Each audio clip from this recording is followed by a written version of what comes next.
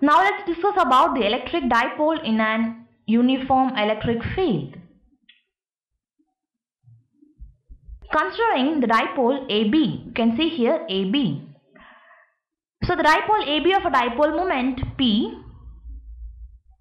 placed at an angle theta in an uniform electric field E. So the charge plus Q, you can see here, the charge plus Q experiences a force QE in the direction of the field. The charge minus Q experiences an equal force in the opposite direction. Thus, the net force, you can see, thus the net force on the dipole is 0. The two equal and unlike parallel forces are not passing through the same point, resulting in an torque Q on the dipole, which tends to set the dipole in the direction of the electric field.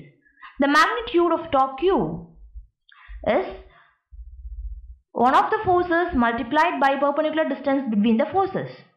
That is nothing but the force is indicated as F multiplied by 2d sine theta which is nothing but the perpendicular distance between the forces. We knew the value that is force is equal to Q into E that can be substituted for F.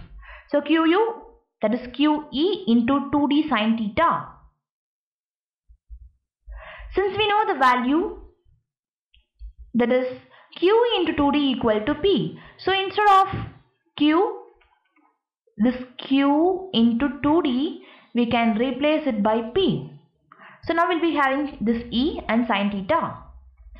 So in terms of vector notation, the magnitude of torque in terms of vector notation is over here that is tau vector equal to p vector into e.